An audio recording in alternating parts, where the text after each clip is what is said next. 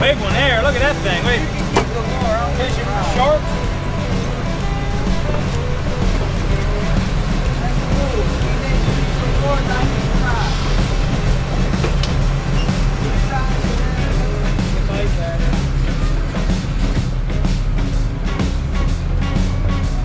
Great white shark fishing.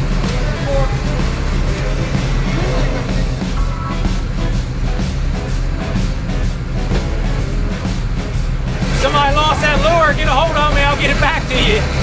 I don't fish.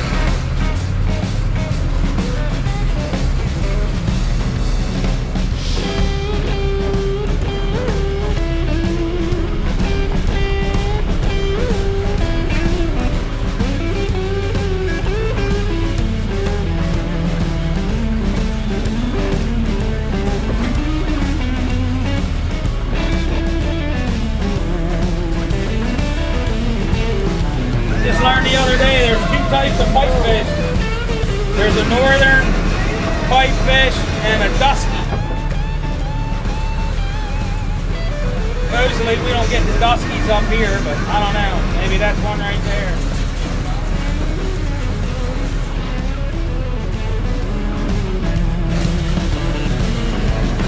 Sign right there, that little tiny baby crabs up here already shed. It's an empty shell where the crab already shed out. The crabs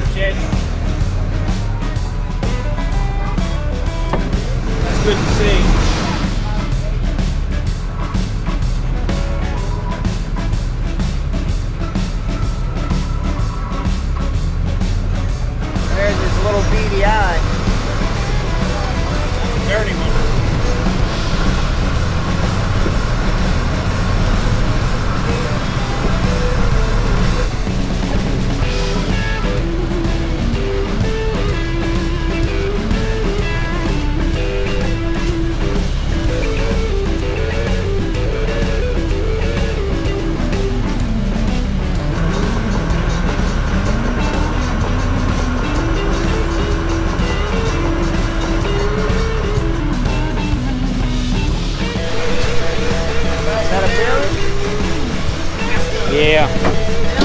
Little baby peeler.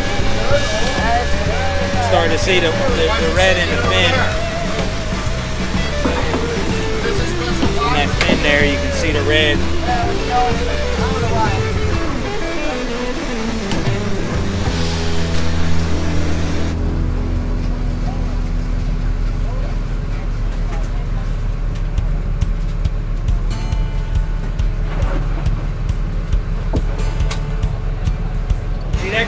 Pinched by something else. It's got like a hole in its shell. Nice crab, nice black, black pretty crab. Pretty crab.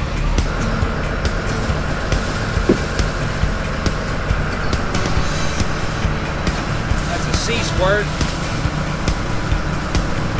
Got a bunch of barnacles on it.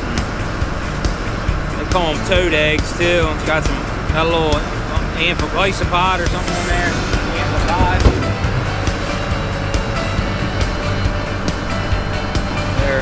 It's a tunicate, whatever that means.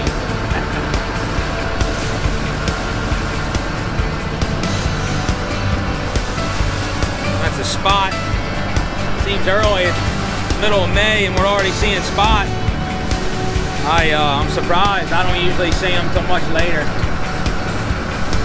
later on in the season, a lot of guys use these for fishing for rockfish.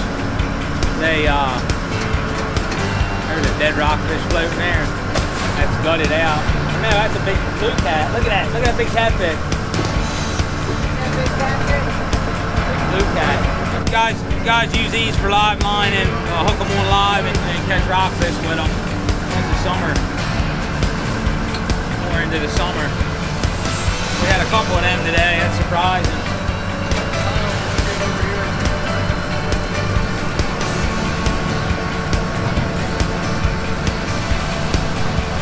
Oyster toad, oyster cracker. Probably about the ugliest fish in the bay. He's got a real strong, real strong jaw on them. They bite. Supposedly they're good eating.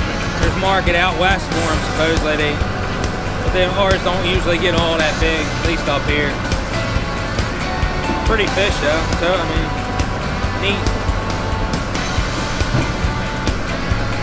Yeah, they're like whiskers. Uh, I think they use them. They're like I don't know if they use them as like lures or like camouflage or what.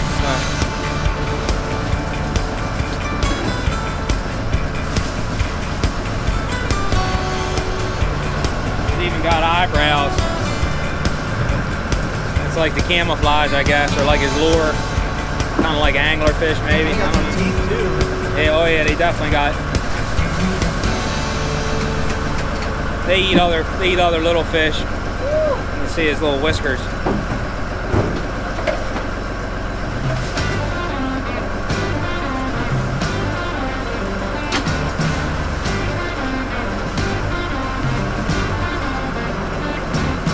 There's a sunfish.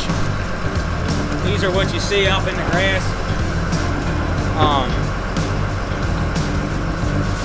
grass beds, they'll actually dig a hole in the um, in the grass, open, you know, to make their nest.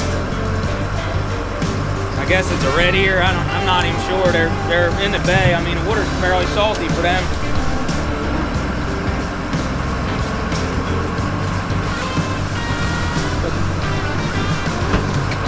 These will.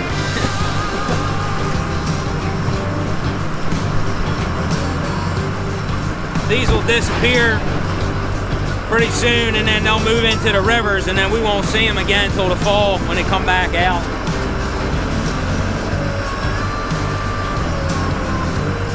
Another little sunny. I can't even hold them. That's a fight in them.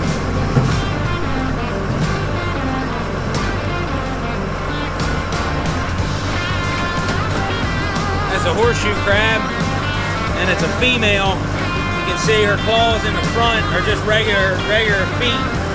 The male has a uh, like a hook on it so he can grab a hold of the back of the shell.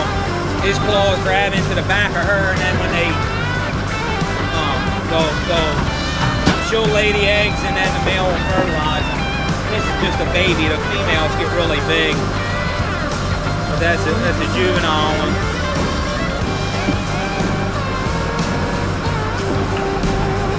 These actually shed their shell too, just like a blue crab. We see them when they're soft. This one's hard, but you actually seen them when they're soft and seen that uh, sheds too of, of uh,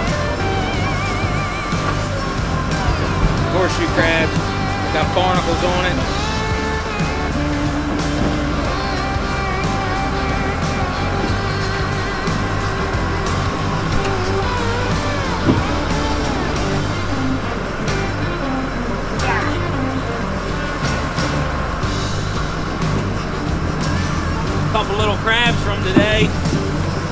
That's a real good sign to see these little crabs around already. We're seeing them, there's lots and lots of them. Because these can just crawl right out of the side of the pot. They just hang onto the pot when they're when they come up. You see them sometimes. That's that's a good sign. These are both males.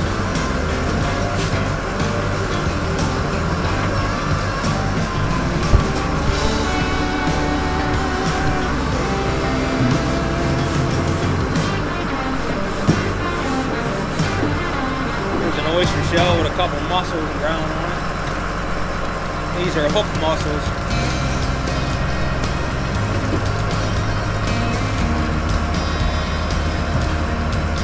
Couple barnacles.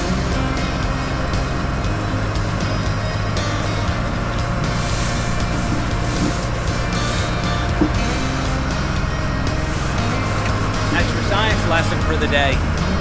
Creatures of the bay.